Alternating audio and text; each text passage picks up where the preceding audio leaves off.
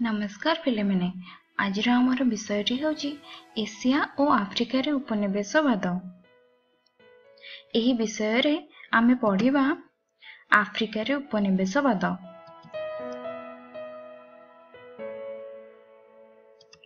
ତାହେଲେ ଚାଲ ଆମେ ଷ୍ଟାର୍ଟ କରିବା ଆଫ୍ରିକାରେ ଉପନିବେଶବାଦ। ପ୍ରଥମେ ଆମେ ପଢ଼ିବା ବେଲିଜିଆନ କଙ୍ଗୋର ସୃଷ୍ଟି। ଚିତ୍ରରେ ତୁମେ ଦେଖିପାରୁଥିବ ଯୋଉ ମେରୁନ୍ ଚିହ୍ନିତ ଅଂଶଟି ହେଉଛି ସେଇଟା ହେଉଛି ବେଲିଜିଆନ କଙ୍ଗୋ।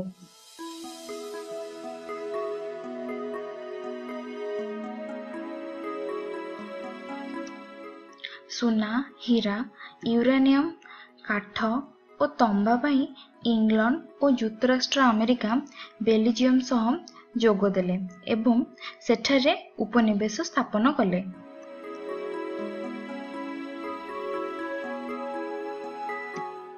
ବର୍ତ୍ତମାନ ଆମେ ପଢ଼ିବା ନାଇଜେରିଆରେ ଇଂଲଣ୍ଡର ଆଧିପତ୍ୟ।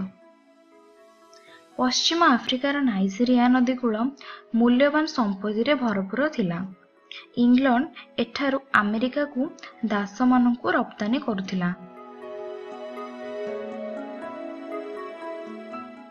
ଇଂଲଣ୍ଡ ପଶ୍ଚିମ ଆଫ୍ରିକାରେ ଗାମ୍ବିଆ ଅସନ୍ତି ସ୍ୱର୍ଣ୍ଣ ଉପକୂଳ ଓ ସିଏରାଲିଓନ ଅଞ୍ଚଳଗୁଡ଼ିକୁ ମଧ୍ୟ ଅଧିକାର କଲା।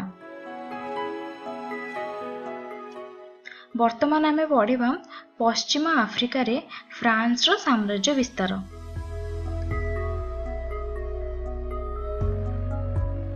କଙ୍ଗୋ ନଦୀର ଉପ ଉତ୍ତରରେ ଥିବା ଅଞ୍ଚଳକୁ ଫ୍ରାନ୍ସ ଅଧିକାର କଲା ଓ ଏହା ଫରାସୀ କଙ୍ଗୋ ଭାବରେ ପରିଚିତ ହେଲା।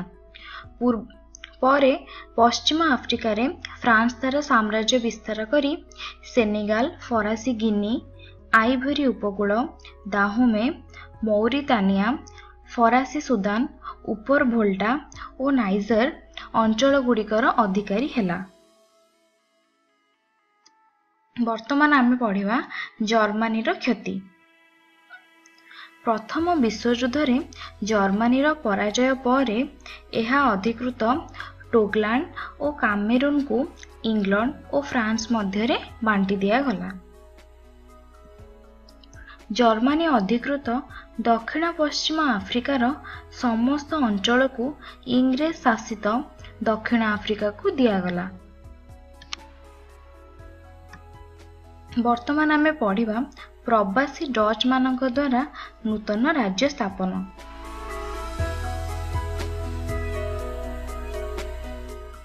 ପ୍ରବାସୀ ଡଚ୍ ମାନଙ୍କୁ ବୋଏର କୁହାଯାଉଥିଲା।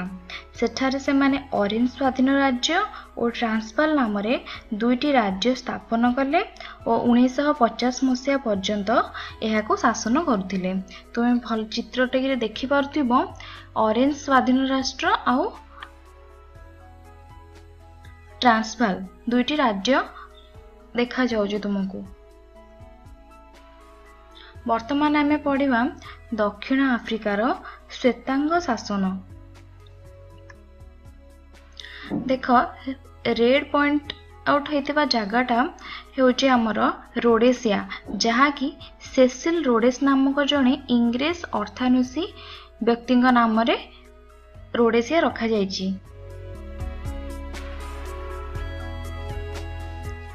ଇଂରେଜମାନେ ରୋଡେସିଆ ବେଚୁଆନାଲ୍ୟାଣ୍ଡ ସ୍ୱାଜିଲାଣ୍ଡ ବସୁତଲ୍ୟାଣ୍ଡ ଅଧିକାର କଲେ। ଓ ଏହାର ଅଳ୍ପ ଦିନ ପରେ ସେମାନେ ଦକ୍ଷିଣ ଆଫ୍ରିକା ୟୁନିୟନ ଗଠିତ ହେଲେ। ଏଥିରେ କେପ୍ ନାଟାଲ ଟ୍ରାନ୍ସଭାଲ ଓ ଅରେଞ୍ଜ ରିଭର କଲୋନି ଅନ୍ତର୍ଭୁକ୍ତ ହେଲା ଯାହାକି ତୁମେ ଭଲ ଭାବରେ ଏହି ମାନଚିତ୍ରଟିରେ ଦେଖିପାରୁଛ। ବୋଏର ଇଂରେଜ ଓ ଅନ୍ୟ କେତେକ ୟୁରୋପୀୟ ପ୍ରବାସୀଙ୍କୁ ନେଇ ଦକ୍ଷିଣ ଆଫ୍ରିକା ୟୁନିୟନ ସଂଖ୍ୟାଲଘୁ ଶ୍ୱେତାଙ୍କ ଦ୍ୱାରା ଶାସିତ ହେଲା। ବର୍ତ୍ତମାନ ଆମେ ପଢ଼ିବା ପୂର୍ବ ଆଫ୍ରିକାର ନିୟନ୍ତ୍ରଣ। ତୁମେ ଏହି ମାନଚିତ୍ରଟିକୁ ଭଲ ଭାବରେ ଲକ୍ଷ୍ୟ କର। ମାଡଗାସରକୁ ଫ୍ରାନ୍ସ ନେଇଥିଲା। ଉଗାଣ୍ଡାରେ ଇଂରେଜମାନେ ନିଜର ଆଧିପତ୍ୟ ସ୍ଥାପନ କରିଥିଲେ। ଠିକ୍ ସେହିପରି ତାଞ୍ଜାନିଆରେ ମଧ୍ୟ ଇଂରେଜମାନେ ନିଜର ଆଧିପତ୍ୟ ସ୍ଥାପନ କରିଥିଲେ। କେନିଆରେ ମଧ୍ୟ ଇଂରେଜମାନେ ନିଜର ଆଧିପତ୍ୟ ସ୍ଥାପନ କରିଥିଲେ। ଏବଂ ରୁଆଣ୍ଡା ବୁରୁଣ୍ଡିରେ ବେଲିଜିୟମ ନିଜର ଅଧିକାର ସାବ୍ୟସ୍ତ କରିଥିଲା। ବର୍ତ୍ତମାନ ଆମେ ପଢିବା ଇଟାଲୀର ଔପନିବେଶିକ ଉଦ୍ୟମ। ଇଟାଲିଆମାନେ ଆଫ୍ରିକା ମରୁଭୂମି ଅଞ୍ଚଳରେ ଅବସ୍ଥିତ ସୋମାଲିଲ୍ୟାଣ୍ଡ ଓ ଏରିଟ୍ରିଆକୁ ଅଧିକାର କରିଥିଲେ। ଆବିସିନିଆ ଏକ ସ୍ୱାଧୀନ ରାଷ୍ଟ୍ର ଥିଲା। ଏହାକୁ ଇଟାଲୀ ତାର ସୁରକ୍ଷାପ୍ରାପ୍ତ ଅଞ୍ଚଳ ବୋଲି ଦାବି କରି ଆକ୍ରମଣ କରିଲା। ଅଠରଶହ ଛୟାନବେ ମସିହାରେ ଆବିସିନିଆ ଇଟାଲୀର ଦାବିକୁ ପ୍ରତ୍ୟାଖ୍ୟାନ କରି ଇଟାଲୀୟ ସୈନ୍ୟବାହିନୀକୁ ଯୁଦ୍ଧରେ ପରାସ୍ତ କଲା। ଫଳରେ ଇଟାଲୀ ତାର ଦାବି ଓ ସୈନ୍ୟବାହିନୀକୁ ଏଠାରୁ ପ୍ରତ୍ୟାହାର କଲା। ବର୍ତ୍ତମାନ ଆମେ ପଢିବା ଫ୍ରାନ୍ସର ଟ୍ୟୁନିସିଆ ଅଧିକାର।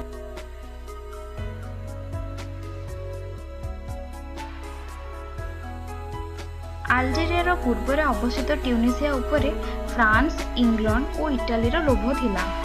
ଅଠରଶହ ଅଠସ୍ତରୀ ମସିହା ରାଜିନାମା ଅନୁସାରେ ଇଂଲଣ୍ଡ ସାଇପ୍ରାସ ଦ୍ୱୀପକୁ ଅଧିକାର କଲା ଓ ତା ବଦଳରେ ଫ୍ରାନ୍ସକୁ ଟ୍ୟୁନିସିଆରେ ନିଜର ପ୍ରଭାବ ବିସ୍ତାର କରିବା ପାଇଁ ସୁଯୋଗ ଦେଲା।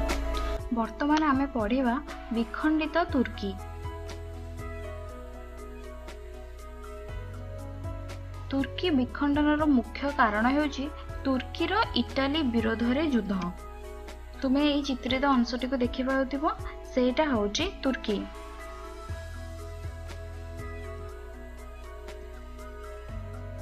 ଦ୍ୱିତୀୟ କାରଣଟି ହେଉଛି ଇଜିପ୍ଟ ଗଭର୍ଣ୍ଣର ଇସମାଇଲ ପାସାଙ୍କର ଆର୍ଥିକ ସମସ୍ୟା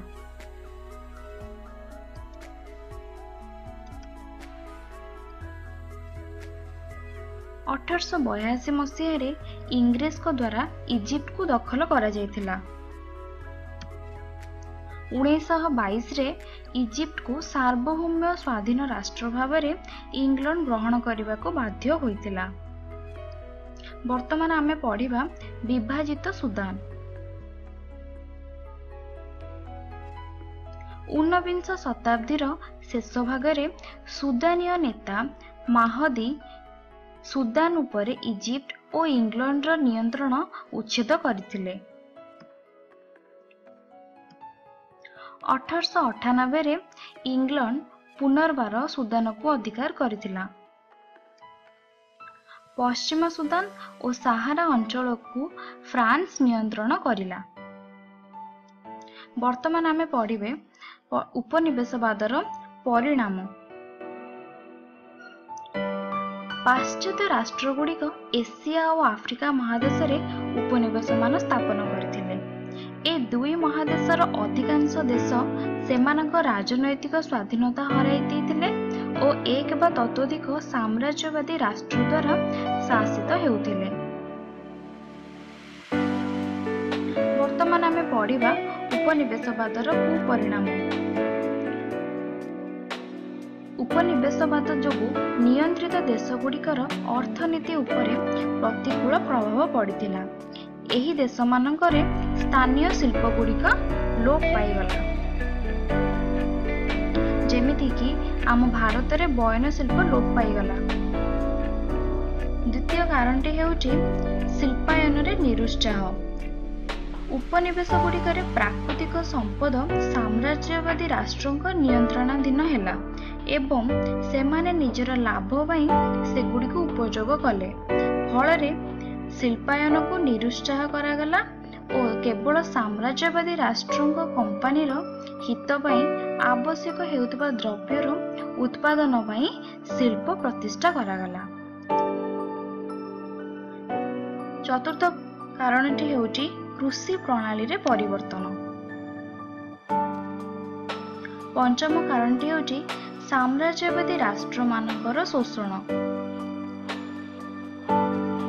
ଉତ୍ତମ ଜମିଗୁଡ଼ିକୁ ସେମାନେ ନିଜ ଅଧୀନକୁ ନେଇଗଲେ। ବସ୍ତୁତଃ ଉପନିବେଶ ଗୁଡ଼ିକର ସମସ୍ତ ପ୍ରାକୃତିକ ସମ୍ପଦ ସାମ୍ରାଜ୍ୟବାଦୀମାନେ ଲୁଚି ନେଇଗଲେ। ଫଳରେ ଉପନିବେଶ ଗୁଡ଼ିକରେ ଦାରିଦ୍ର୍ୟ ବୃଦ୍ଧି ପାଇଲା।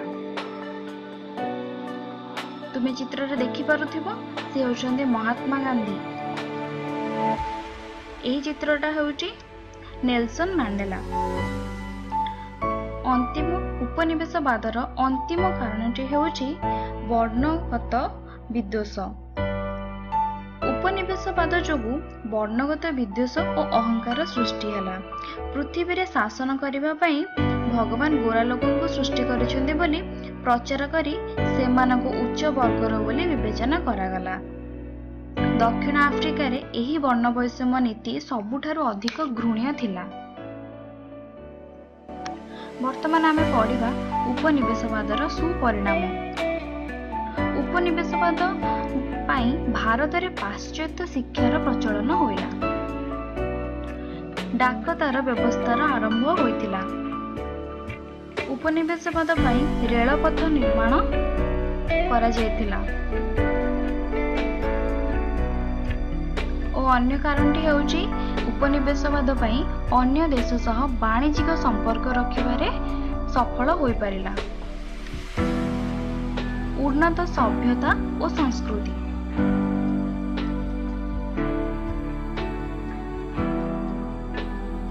ଉପନିବେଶବାଦର ପରିଣାମ ଯୋଗୁଁ ସ୍ୱାଧୀନତା ପାଇଁ ଦ୍ୱିତୀୟ ବିଶ୍ୱଯୁଦ୍ଧ ହୋଇଥିଲା। ଏହି ବିଷୟରେ ଆମେ କଣ ଶିଖିଲେ? ପ୍ରଥମ ବିଶ୍ୱଯୁଦ୍ଧରେ ଜର୍ମାନୀର ପରାଜୟ ପରେ ଏହା ଅଧିକୃତ ଟୋଗଲାଣ୍ଡ ଓ କାମେରୁନକୁ ଇଂଲଣ୍ଡ ଓ ଫ୍ରାନ୍ସ ମଧ୍ୟରେ ବାଣ୍ଟି ଦିଆଯାଇଥିଲା। ପ୍ରବାସୀ ଡଚମାନଙ୍କୁ ବୋଏର କୁହାଯାଉଥିଲା। ପରବର୍ତ୍ତୀ ଅଧ୍ୟାୟରେ ଆମେ ପଢିବା ପ୍ରଥମ ବିଶ୍ୱଯୁଦ୍ଧର କାରଣ ଓ ଫଳାଫଳ।